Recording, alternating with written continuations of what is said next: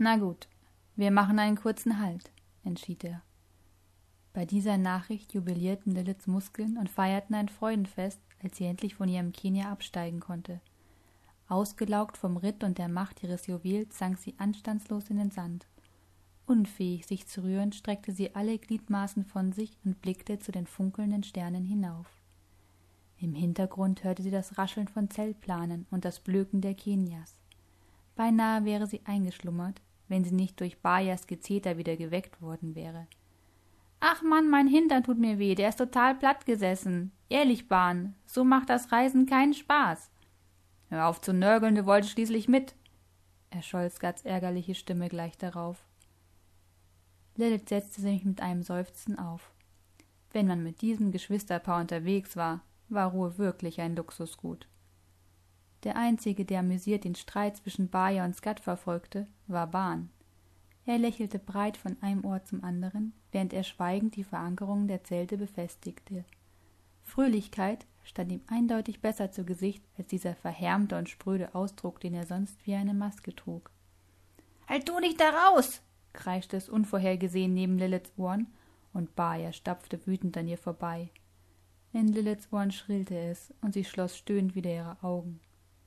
Doch als es plötzlich still um sie herum wurde, blinzelte sie wieder unter ihren Lidern hervor, um herauszufinden, warum ihr auf einmal diese Ruhe vergönnt war.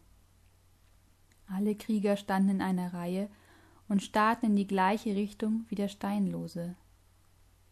Schlagartig fiel die Müdigkeit von Lilith ab und sie sprang auf. Sie wollte auch sehen, was die Krieger so beunruhigte. Durch den Morgenhimmel brachen die ersten Sonnenstrahlen und beleuchteten einen entfernten Reiter, der jedoch rasant näher kam.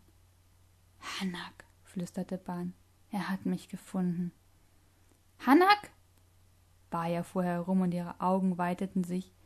Der Hanak? Bahn, der sein Lächeln eingebüßt und wieder seine undurchdringliche Maske aufgesetzt hatte, beantwortete sehr leise Bajas Frage. Ja, der Hanak. Die Kriegerin griff entschlossen zu ihrem Schwert und selbst ihr Bruder, der sonst immer das Gegenteil von dem tat, was sie machte, zog seine Waffe. Einzig und allein Asra blieb völlig unberührt stehen. Lilith räusperte sich. Ähm, wer ist denn der Hanak? Sie kam sich reichlich dumm vor, das zu fragen, wo doch alle anderen anscheinend Bescheid wussten. Ein Sucher, sagte Bahn knapp und deutlich. Lilith legte ihre Fingerspitzen auf ihre Juwel und lauschte in die Nacht hinein, und plötzlich begriff sie die Furcht der Krieger, denn dem Reiter eilte eine rabenschwarze Aura voraus, die nichts Gutes verhieß. Soll er doch kommen, knurrte Bayer und trat beschützend vor Bahn. Die Kriegerin war in ihrem Temperament wirklich nicht zu unterschätzen. Selbst Bahn konnte sie kaum davon abbringen, sich wie ein lebendes Schutzschild vor ihm aufzubauen. Mit sanfter Gewalt drängte er sie zurück und drückte ihre Schwerthand nieder. Mit dem Anführer der Sucher werden wir keinen Kampf beginnen, solange es nicht nötig ist. Außerdem kommt er allein, was äußerst selten für einen Sucher ist. Wir sollten erst hören, was er will. Also lasst alle eure Waffen sinken, sagte er in einem Tonfall, der keinen Widerspruch duldete. Die junge Kriegerin stieß ein verächtliches Zischen aus, trat aber einen Schritt zurück und ließ ihr Schwert in die Hülle gleiten. Bahn sah nun auffordernd zu Skat hin, der ebenfalls, wenn auch äußerst widerwillig, sein Schwert wegsteckte. Wenn er dich angreift, sagte Baja missmutig, werde ich trotzdem gegen ihn kämpfen, egal wer er ist. Bahns Timbre fiel ab. Kämpfen? Du meinst sterben, oder wie willst du es nennen, wenn du dich gegen ein schwarzes Juwel stellst? Wieder ertönte nur ein abfälliges Schnauben als Antwort, und Bahn drehte sich resigniert ab und zu Lilith hin. Wie du gehört hast, ist er der Anführer der Sucher, also versteck dich im Zelt und schirm dein Juwel ab. Denn glaub mir, Hanak ist kein Mann, dem, dem du begegnen möchtest. Lilith wurde schwindelig. Der Anführer der Sucher? Ein Stechen breitete sich in ihrem Brustkorb aus, als sie zum Zelt eilte. Aus den Augenwinkeln nahm sie Bayas Grimasse wahr. Ihrer Mimik nach zu urteilen, hätte sie nichts dagegen gehabt, wenn Lilith dem Sucher zum Opfer gefallen wäre.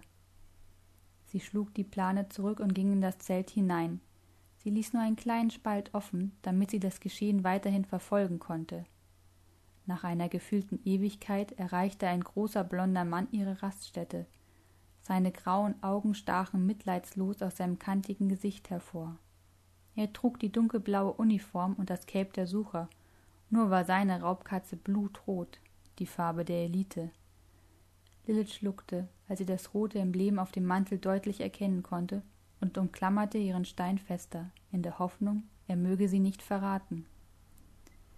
Der Sucher schwang sich von seinem Kenia und baute sich vor den anderen Kriegern auf. Sein Juwel funkelte in einem so tiefen Schwarz, dass es regelrecht unnatürlich wirkte. Der Stein schien alle Farben in seiner Gegenwart zu absorbieren und sich einzuverleiben. Die Baritonstimme des Suchers hallte über die Ebene. Habe ich dich also gefunden, du Bastard? Bahn spuckte vor dem Sucher aus. Scheint so. Du bist von den Suchern desertiert, bemerkte der Mann mit dem rabenschwarzen Juwel und ging mit einem abschätzenden Blick an Skat, Asra und Bayer vorbei. Und deine Kameraden haben unbefugterweise die Tracht der Sucher getragen, worauf die Todesstrafe steht. Ein arrogantes Lächeln umspielte seine Mundwinkeln, als er sich schließlich der Fee näherte. Sieh an, das Hexenweib begleitet dich also immer noch. Er packte ihr Kinn und quetschte das Fleisch an ihren Wangen zusammen. Ich trau dir nicht, du kleines Miststück.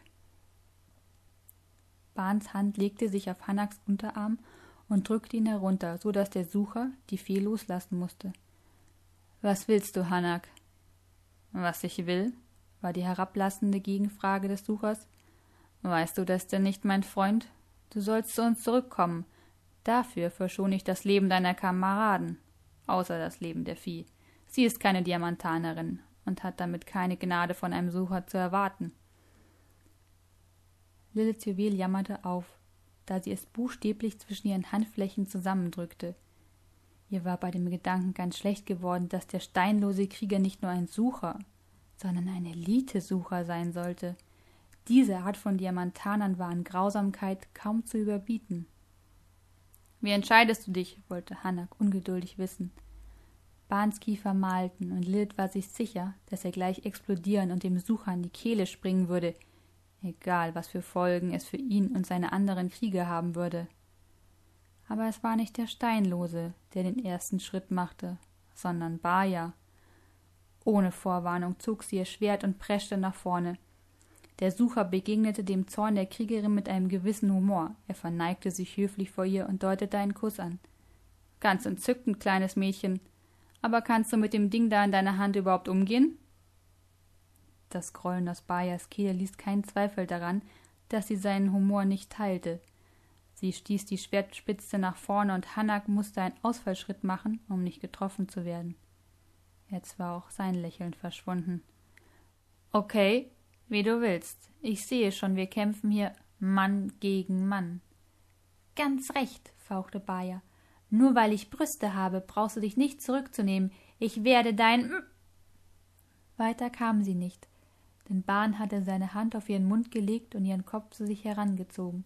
Geflissentlich ignorierte er ihr ersticktes Fauchen, als er ihr Gesicht gegen seine Brust presste, während er Hannak eindringlich ansah. Hör mir zu, ich komme mit. Sobald ich etwas erledigt habe, kehre ich zu den Suchern zurück. Aber jetzt gibt es Wichtigeres zu tun. Es gibt nichts Wichtigeres als die Sucher. Barnes Kindpartie begann wieder zu zittern, und Lilith konnte förmlich das Knirschen seiner Zähne hören. Und plötzlich, völlig unerwartet, streifte sie die Aura eines blutgetränkten Juwels, das Hanak Stein an Bösartigkeit und Erbarmungslosigkeit übertraf. Verwirrt starrte Lil zu Bahn, aber falls die Aura zu ihm gehört hatte, war sie wieder verschwunden, denn sie konnte nichts mehr fühlen, außer der bekannten Auren der anderen Steine. Bahn hingegen war wie immer stein- und auralos. Zurück blieb nur ein mulmiges Gefühl der Unsicherheit, etwas gespürt zu haben, was sehr, sehr grausam war. Ihr eigener Stein, der ebenfalls den Geruch von Blut und Leid gewittert haben musste, zischte auf und weiße Funken stoben durch das Zelt. Hanna grunzelte überrascht seine Stirn. Was war das? wollte er misstrauisch wissen und ging zu dem Zelt, in dem sie sich verborgen hielt. Lilith wurde blass. Sie drängte sich in die hinterste Zeltecke, was völlig unsinnig war, da sich nirgends die Möglichkeit eines Verstecks bot. Hier war sie ihm hilflos ausgeliefert.